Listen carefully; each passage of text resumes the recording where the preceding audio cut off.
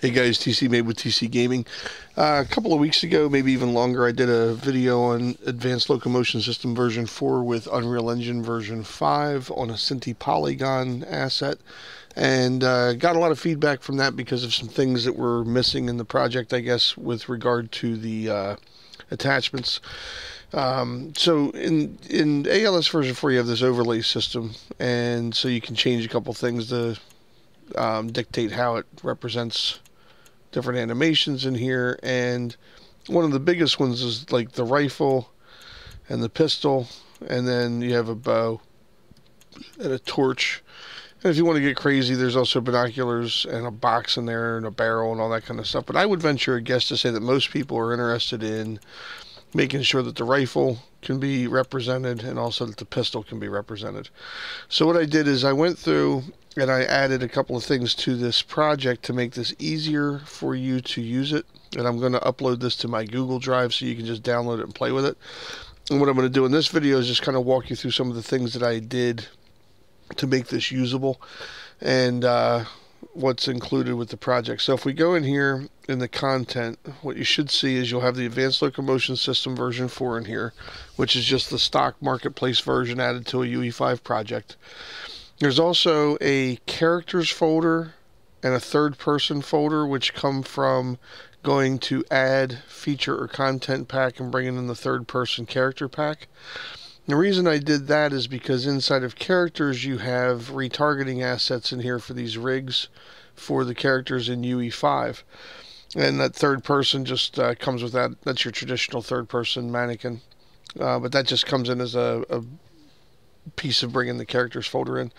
And I also included my Synty folder in here, which is an animation blueprint for Synty, an IK retargeter for advanced locomotion system to Synty, an IK rig for Synty, and the other assets that go along with this. Now, this Synty Polygon Unreal uh, mesh that's in here, what this basically is for is so that you have a stock ALS mesh or uh, whatever skeletal mesh that you can take your Synty Polygon assets and, and move these onto.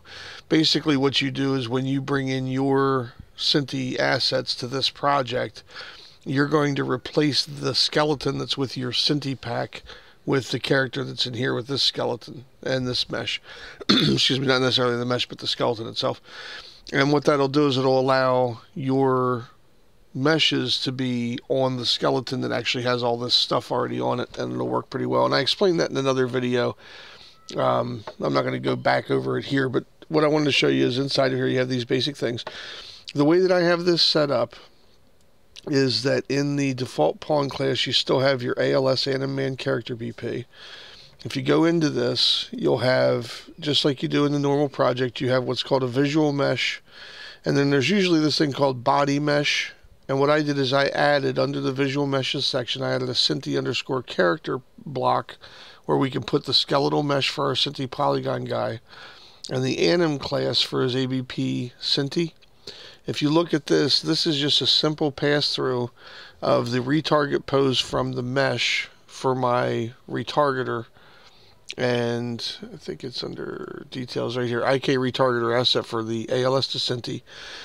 and what this does is, if you're not familiar with this whole thing, I, I did explain this in other videos. What it does is it takes the animation data from a parent asset and passes it on to a child. In the case of this project, what we have is our our normal ALS guy, which you can't see here because I have him turned off. If you go to Viz and turn this on, there's actually a polygon guy, or I mean a um, ALS guy here and I just have a Synty character also in here and I'm taking the animation data from ALS and passing it to the Synty character using that asset it, that I just talked about a second ago. And then what you do is after you get everything all set up, you just shut off the visibility for the main guy and you also do this always tick pose and refresh bones. By the way, this is kind of the way that ALS is set up in the first place. If you have a, a, mesh you want to put onto ALS, you just go in here to the body mesh and assign it, and tell it to uh, you know to work with that character, and then just shut off the um, the visibility. But the other thing that's important in here is that when you look at the Synty Polygon guys in comparisons, I'll show you here inside of the retargeter. Um, this retargeter is set up so that what you can do is you can take animation data from character A and pass it on to character B. In this case, our source and targets are ALS and uh, Synty.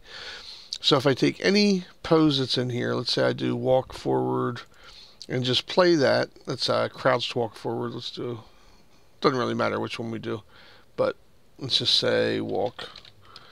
And it should be a normal walk front. Okay. So as these characters are walking, I mean, they look pretty good. The animation data is all um, being translated over. But see this target actor offset in here. If I go and I make this zero, what it'll do is it'll lay these characters right on top of each other. I'm just going to pause the animation for a second to show some important things here. The the Synty character has a slightly different arm length and height than what the ALS character does. And so as a result, in your animation or in your character blueprint, the code in there is trying to tell this by default under the held object system to attach to hand. By default, what it was doing is there's a mesh, which would be your normal poly or your normal um, ALS guy, right, AnimMan. So it was telling the mesh to attach to a thing called VB, RHS, IK handgun, and LHS IK handgun. These are your IK sections for the uh, for the guns. And so what I've done is I've replaced that with just a hand R gun and a hand L gun socket that are on the Synty character. And instead of passing this data to the mesh, which was originally in here as the parent, I'm just doing it to the Synty character. Okay. And so what that'll do is it'll say go and find the socket called hand R gun or hand L gun and attach that, depending on whether it's a right-handed or left-handed weapon, which is, I think, figured out from uh, from other portions over here. This is where your attachments all happen. So if you want to attach a, you know, a, excuse me, a pistol or a rifle or whatever, it's following this logic to do that. And in most cases, when you build something with ALS version 4, you're not going to be using an overlay menu to figure out how something should be attached or equipped or anything like that. You're going to build an entirely different set of logic uh, parameters for that or use some other system that already does it in their blueprint and you're just using the ALS locomotion portion of this advanced locomotion system for your movement. So this is kind of arbitrary in the sense of just kind of getting it to represent what you guys are looking for, but but really you probably won't even use most of this. But it's at least good to know how this is set up. So if you're again you're in the ALS AnimMan blueprint under the held object system, and then that attached to hand. This is where I've changed this to the Synty character and uh, made it for whatever socket is actually on there. So if you go to the um, if you were to go to the Synty character and you look at Let's just go to the skeletal mesh for this. We'll pull up his skeleton. I have a hand L gun socket and I have a hand R gun socket, which I said uh, earlier replaces those things. So when you're out here in the overlay menu, if you hit Q while you're in the game, again, you can change all these different states. So there's the feminine pose, the injured pose, the hands tied behind the back pose, and here's the rifle. Now, the rifle is basically just, you can see this has still got a little bit of weird uh, offsets to it. And it's because the Synty character is not sized for these weapons. So what you'd probably do is in your weapon pack, you're going to get weapons that fit the Synty guy already because they came with the Synty pack. And then you're just going to go in there and replace what's being attached. And then you can modify your character uh, socket to accommodate that particular weapon. But let's say, for example, you were trying to adjust this. excuse me, one of the ways that you could do it is while you're in the game, you just hit the F8 key, and now you can have this where you can like freely move around. So I just go back over here and get to where I'm viewing my character. And then inside of the asset for this character, you can pull this down. Go back out here and look at your level. And now if you go into your socket that's over here, excuse me, there's your right hand socket. So if you were to grab this, you can actually, you know, move this around in here and tweak how this is laying into his hands. And once you get this figured out for whatever it is that you're doing, you know, this should pretty much apply across the board to anything that's in that, that socket. So again, you can go in here and tweak these. I don't have the time to sit and do this, you know, myself for for uh, running through that actually was pretty good. So you would leave it and just save this. Now when you go back in there, Um, again, you could either go back in and hit F8 or you could just hit, uh, you know, Alt P to go back in. But now if I go back to that overlay for the rifle, you know, maybe that looks a little bit better. So actually it's off now that I tilted it. So again, I could hit the F8 key, go back over here and find this swim, uh, swim, um, move the camera over here, and now I can look at the the pitch of the weapon and take this socket here, not that one. Once you figure out which one it is, and we can just tilt it, say, this way.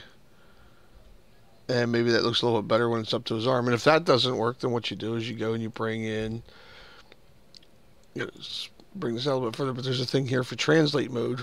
and then you can just move the sockets around, you know, back and forth, up and down, in and out, or whatever to get this where you want to.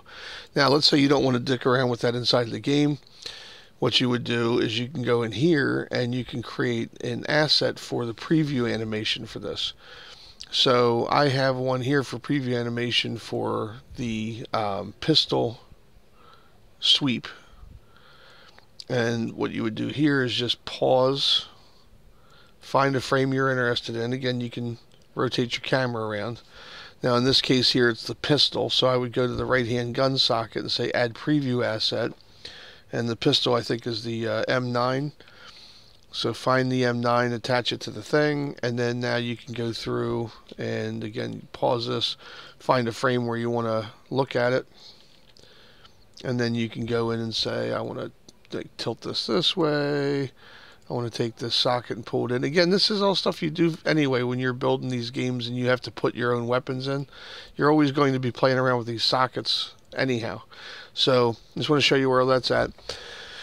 The way that the animation data is being passed to this thing is actually, as I said earlier, there's an animation blueprint that's just picking this up. And the reason I put these cached poses in is because you may have things where you want to do upper body and lower body splits. So I went ahead and put an upper body and default slot split in here for you with a layered blend per layered blend per bone already on here and you're just taking the locomotion uh, pose and, and blending those in here out to your output. So that way, if you have something in a montage where you want to play a montage that has upper body, you can just assign it to the slot. This is already done for you. If you have to do more of them, you can just come in and add a pin, add additional ones in, and, and then you know, tell it how to manage it. All that's up in here. Those are all covered in other videos, not this one. But again, this is going to be on my drive. Hopefully, this helps you guys out. And uh, if you have questions about it, I'll try to answer them. I'm not the world's greatest uh, ALS uh, aficionado, but hopefully it helps you. Again, my name's TC Mabe with TC Gaming, and this will be on my drive. I'll have the link provided in the description of the video. You guys have a great day. Good luck with everything, and hopefully, uh, as I said, this project helps you out. Catch you later. Bye bye.